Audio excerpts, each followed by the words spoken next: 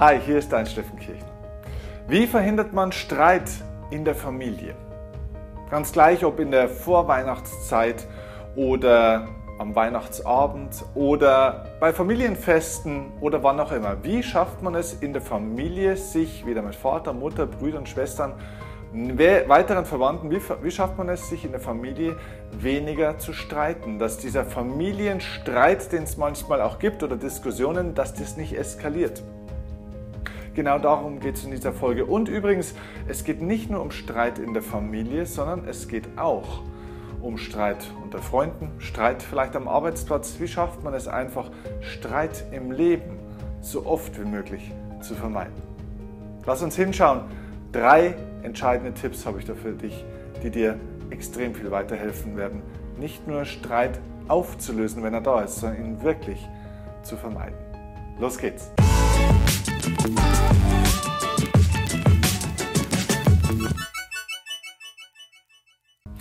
Also wer kennt es nicht, gerade so vielleicht in der Vorweihnachtszeit oder vor großen Festen, vor großen Familienzusammenkünften, wenn alle zusammenkommen und man mehr Zeit hat, sich miteinander zu beschäftigen, weil man gezwungen ist, weil man vielleicht in einem Raum sitzt oder so tun soll, wie wenn man sich eigentlich gut verstehen würde. Ja, es ist nicht immer so einfach.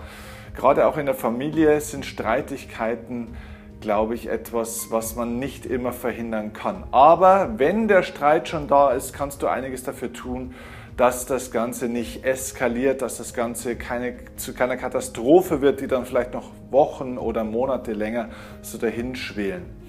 Wichtig ist, glaube ich, auch Diskussionen sind immer sehr, sehr wichtig. Also eine gewisse positive Streitkultur zu haben, ist, glaube ich, ganz wichtig. Gerade in einer Familie ist ein gesunder Streit also eine Diskussion in der Sache sehr, sehr gut. Das Problem wird immer, wenn es dann persönlich wird.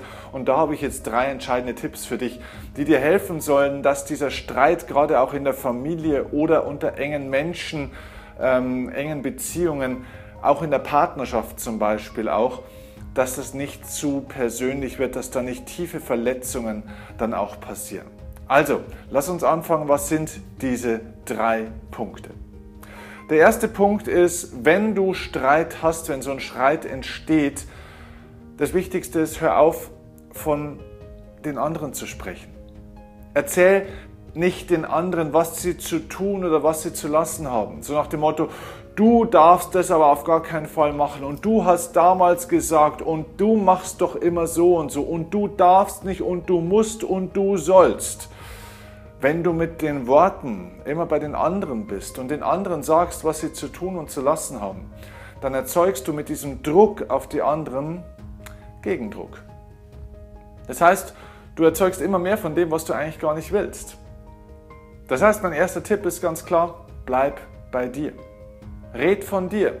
Wenn dich irgendetwas geärgert hat, wenn jemand was gesagt hat, zum Beispiel in der Familie, was dich verletzt hat, wo du dich zurückgesetzt oder klein gemacht fühlst oder persönlich angegriffen fühlst, dann sag dem anderen nicht, hey, so darfst du es doch nicht sagen und so kannst du es doch nicht machen und das ist doch das allerletzte von dir. Und warum hast du denn jetzt schon wieder gesagt? Das hast du damals auch schon gesagt und immer auf mich drauf.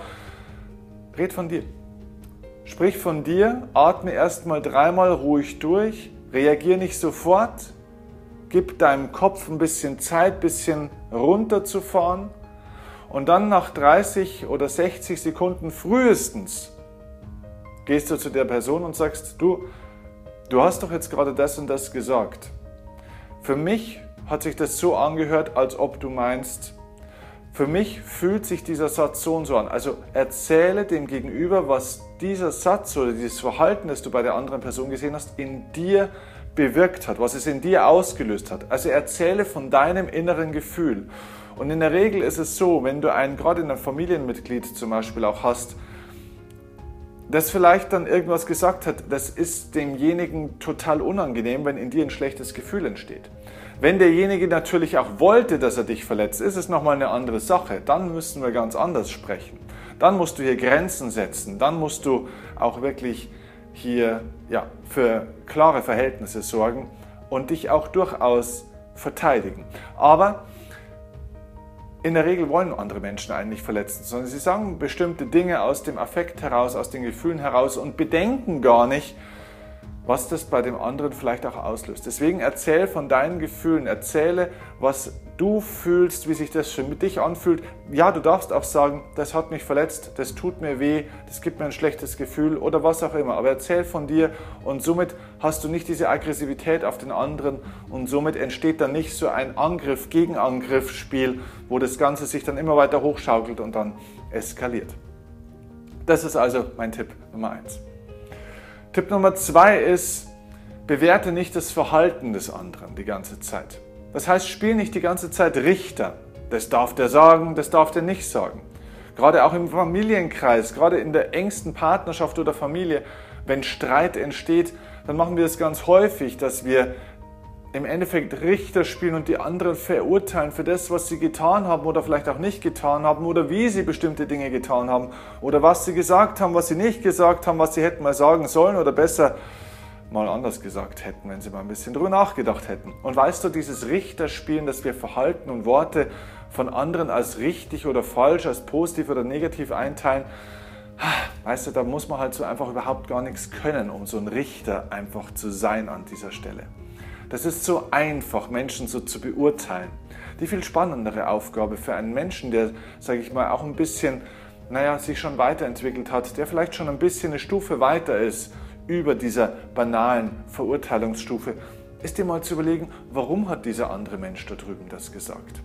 Das heißt, überleg dir doch mal, wie fühlt sich dieser Mensch gerade, dass er so einen Satz gesagt hat, dass er so ein Verhalten an den Tag gelegt hat, dass er so reagiert oder dass er sich eben so verhält. Das heißt, vielleicht kannst du diesen Satz, den die Indianer immer so schön sagen, für dich ein bisschen in dein Leben integrieren. Dieser Satz heißt, verurteile nie einen Menschen, solange du nicht mindestens einen Tag in seinen Mokassins gelaufen bist.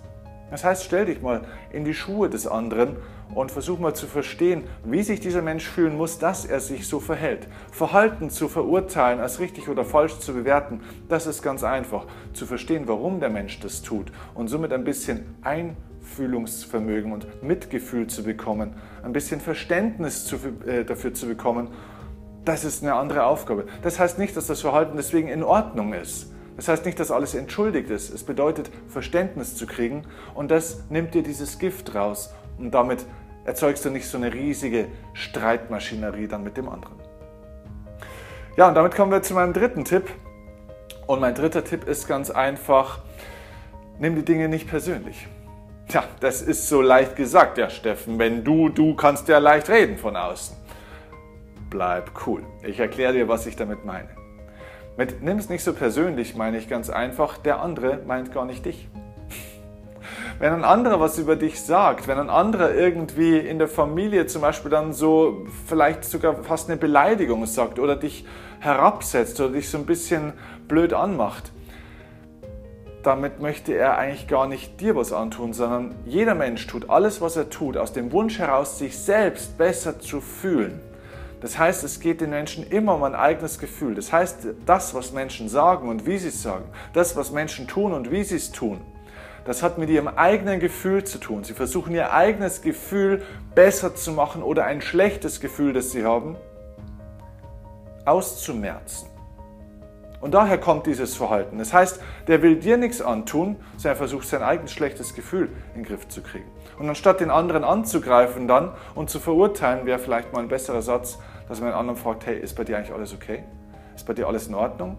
Was ist los, dass du so einen Satz sagst? Kann ich dir irgendwie helfen? Geht es dir irgendwie nicht gut? Und ich glaube, das ist ein viel besserer Satz. Manchmal endet sowas, habe ich selber schon erlebt, bei einem anderen bei Tränenausbrüchen. Die anderen wollten eigentlich den anderen gar nicht verletzen oder angreifen, aber sie wussten nicht hin, äh, wohin mit ihrer eigenen Energie und Aggression oder Enttäuschung und so weiter. Und dann werden die Leute, und das kennen wir doch auch von uns selber, dann werden die Leute ungerecht. Ja? Aber eigentlich ist es nur deswegen, weil die Leute ihr eigenes Gefühl für sich selbst versuchen auszugleichen und vielleicht keine bessere Wahl in dem Moment finden oder vielleicht auch keine Wahl kennen. Sei du derjenige, der hier einen Schritt weiter geht und das Ganze aus einer höheren Ebene betrachten kann, beobachten kann und dementsprechend ein bisschen reifer reagiert. Das wird dich auch stolz machen und das vermeidet viel, viel Streitpunkte ähm, in der Familie, im Freundeskreis, in der Partnerschaft. Ich wünsche dir dabei sehr, sehr viel Erfolg. Ich wünsche dir eine tolle Zeit mit deinen Lieben. Genieß diese Zeit mit diesen Menschen. Man kann von jedem was mitnehmen, man kann von jedem was lernen und mich würde sehr, sehr interessieren, wie dir diese Punkte geholfen haben bei der, ja, beim Austausch mit deinen Mitmenschen, ob es dir geholfen hat, den einen oder anderen Streit zu vermeiden. Ähm, und ja, wenn du mir das mitteilen möchtest, dann am besten unten in den Kommentaren. Und vor allem, wenn dir dieses Video gefallen hat und du mehr Impulse von mir möchtest und vor allem in Zukunft immer informiert sein möchtest, wenn ich ein neues Impulsvideo hochlade, dann abonniere dieses, diesen Kanal und zwar aktiviere unten die Glocke.